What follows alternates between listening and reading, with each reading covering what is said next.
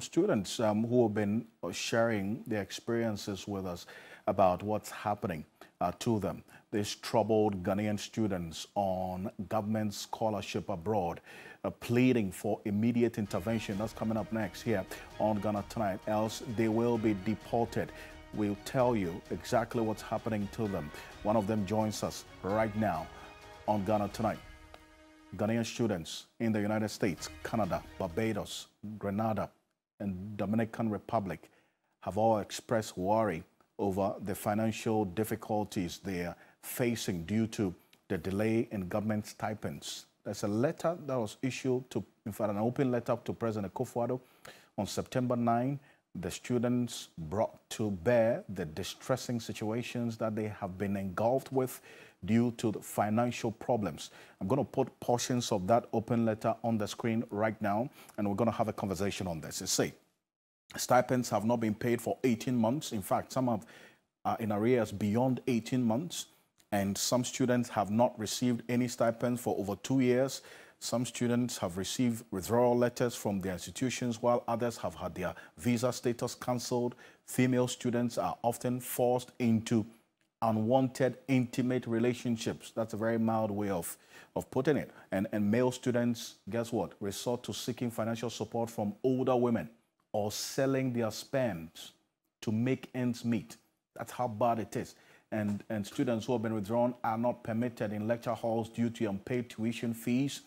Disbursed $50 million, not adequate to address issues across the UK, the US, Barbados, Grenada, Canada, and the Dominican Republic appeal for the release of additional funds to cover outstanding payments for tuition and stipends and equal distribution among students. And this is, look, excerpts of the open letter to President Akufo by the Ghanaian students on, on government scholarship, on government scholarship in these countries. And you recall, this is not the first time we're having a conversation like this with, with these Ghanaian students on student scholarship coming out like this. You may recall sometime um, early part of this year, the students on government scholarship in Morocco also were on this show via Zoom, telling us what they've had to deal with when they went to the, the Ghanaian embassy there. Pius Lord Apre is a PhD candidate on the Government of Ghana scholarship studying at the University of Kent Business School. Pius, thank you so much for connecting with us here on Ghana Tonight from uh, the University of Kent in the United States. Appreciate you. First of all, we've just got information about some of the challenges that you face with I just read to our viewers. But tell me exactly what you're faced with and what you're going through right now. Okay, yeah. So my name is Pius. I'm studying for PhD in um, business management at the University of Kent Business School. Um, so I enrolled in uh, 2021 September. So I've been here since 2021 September. Of course, I came on the Ghana government scholarship scheme. Um, so the scholarship is supposed to cater for my tuition fees and then my, um, I mean, a monthly stipend um, for maintenance. Um, so um, it is the stipends we use to pay for our rent, our bills, I mean, telephone, light, gas, I mean, transport and other personal needs, sometimes buy books and all that. Um, so this money is, is, supposed to be paid every month. But the arrangement was said that um, for whatever reason, the money will be paid quarterly. Okay, so that's that was the arrangement. Now, since I've been here since 2021, September, I've only been paid nine months of stipends. So this is my 37th month, three years and a month. So 37 minus 9, it means that I am owed 28 months of stipends unpaid as I speak with you. That's not all. Uh, the tuition fees also has also not been paid. And so as I speak to you, my university has written to me three emails, warning emails, that if I don't pay the tuition fees, that's if the Ghana government scholarship, whatever, I mean, scheme, if they don't pay the school fees, um, definitely they're going to log me out of the system and I'm not going to, I mean, be able to continue with my academic work. Unfortunately, some of my other colleagues in other universities have been sacked from their universities. They were withdrawn about a month or so ago, and then as we speak, in fact, I think if you check on your WhatsApp, I forwarded you one letter from a student who has been asked by the uh, UK Home Office to leave this country yeah. by 9th of November. That's right. I'm going to put so that you can imagine the yeah. stress students are going through. So for, I mean, some of the students, some of them sleep in the libraries because, of course, you can't pay your accommodation. Some mm. of them have been sent to court by their landlords. You understand? Because here it's not like Ghana where, I mean, this some of these white landlords, they don't understand anything, just take you to court for the court to demand their money. Um, people are going through hell. Um, I'm sure you might have heard that some students, some male students are actually selling their sperms. Yes. Some student, I know some students from Nottingham University who travel as far as I mean to Manchester, okay, to mm. a clinic, to just to I mean to, to, to sell their sperms. And the, the, the, the sad aspect is that you go, excuse my language, you masturbate to get the sperms. And then depending on the weight of the sperm, they are paid between 150 pounds and then 250 pounds. Mm-hmm. I mean, how dehumanizing can this be? So if the men are going through this, then you can imagine what the ladies are also going through. I hope you understand. The situation is that bad. Wow. It is sad that some people have been withdrawn as we speak now. But um, the, the, the embassy and the scholarship secretariat, no official statement has been released. And just to console these students, just to sympathize with them, just to I mean, give them some words of assurance. Mm-mm. A friend of mine spoke to an official from the Ghana Scholarship Secretariat.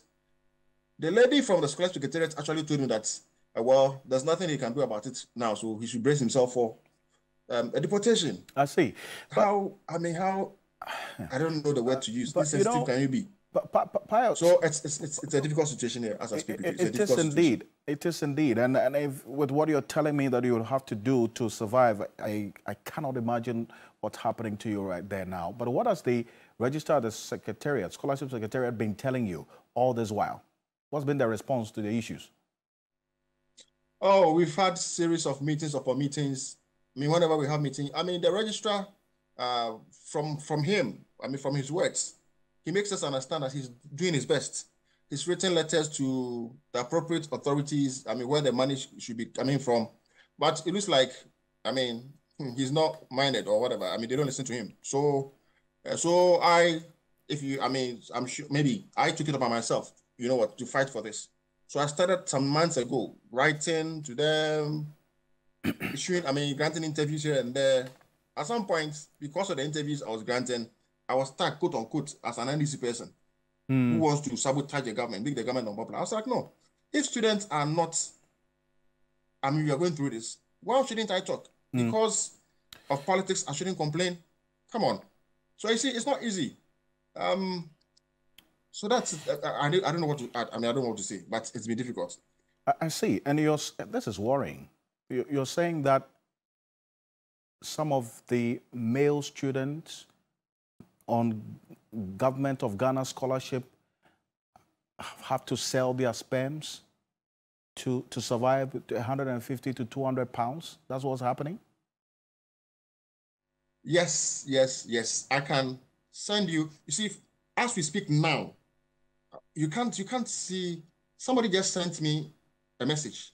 In fact, on the PhD platform just now, the person said, "Hmm, right now I'm scared for some students a friend who doesn't want her name disclosed has just been chased out by debt collectors and is here with me. I'm trying to book a flight for her to go to Ghana because visa has been revoked. I am I am broken, cry.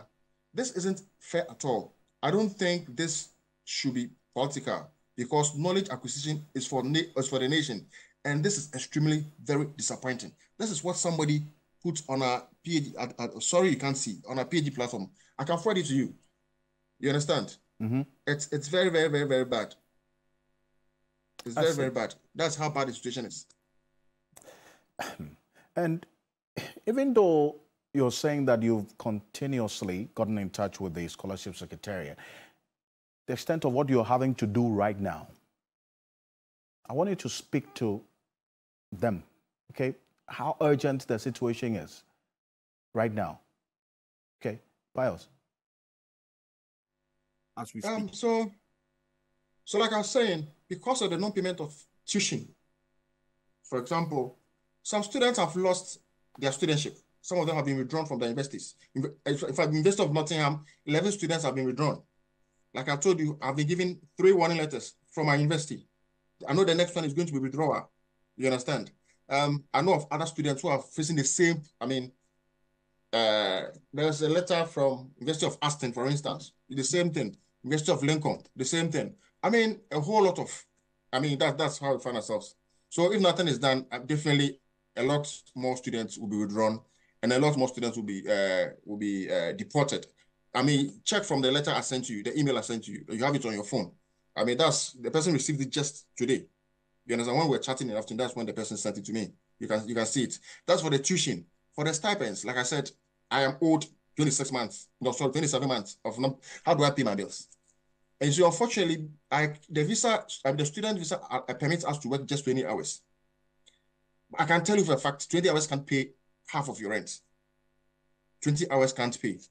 So are they telling us we should do illegal jobs? That aside. So you see, the situation is not easy. It is that bad. And even with the 20 hours, sometimes you can't even get to work because look, the activities on campus are so much. I mean, you have to attend workshops, you have to attend seminars, you have to meet meet deadlines. So you can't even have the time to go and work. That's the whole point. Last semester, for instance, uh, my supervisor wanted me to attend two conferences, one in Germany, one in South Korea. He sent an email, I told him point blank, I was like, Prof, I'm sorry, but I can't attend this conference. You understand? Because I can't afford.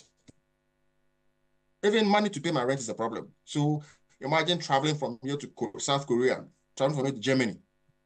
The tickets, the and that was the third time I had missed a conference. I mean, because of meanwhile, your other colleagues from Asia, from other African countries, from the Western European countries who are also on scholarship, they go, you understand, they attend all the conferences, the exposure and all that the only conference I've attended since I came here was right after my first year. Even for that conference, it was my school that paid for me. I remember when I was it was time for me to collect my data for my work, and I had to come to Ghana. Look, four five months after my questionnaires and my ethical uh, uh, application was approved for me to go collect the data, I couldn't afford uh, afford a, a, ticket. So after four months, my professor was like, "What? What are you still doing here?" He had to take my school, my university, to I mean, squeeze somewhere to, to buy the ticket for me. So it was my school that bought a ticket for me to come to Ghana to collect the data. That is because scholarship secretariat has refused to pay my uh, had refused, uh, refused to pay my my, my, my stipend. So I couldn't travel. Uh, that is how wow. bad it is. There's a student, a friend of mine now, is it Lincoln University. He has to come collect data. He's working on artisanal mining.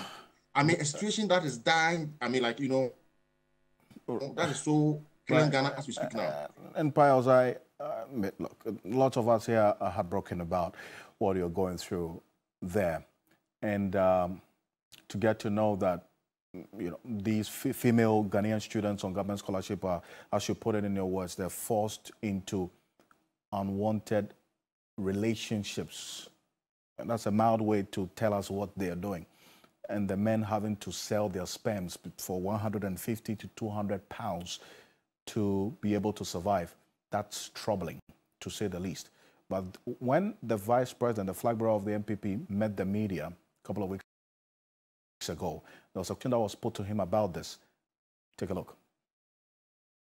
I've been made very aware of this issue. It's not um, it's not new um, because students have even, and parents have gotten in touch with me uh, about the awards and, and, and, scholarships and so on. So we're talking with the uh, Ministry of Finance and the Scholarship Secretariat. Uh, I think they were able to, to make some payments to, to some of the UK students and so on. But we will follow up on that because it's very urgent. Um, well, Pius, that was to you. Pius Lord Apre is a PhD candidate at the University of Kent Business School on Government of Ghana scholarship. Thank you for really making the time to join us here on Ghana Tonight. And this is one that we'll keep an eye on to see how things play out.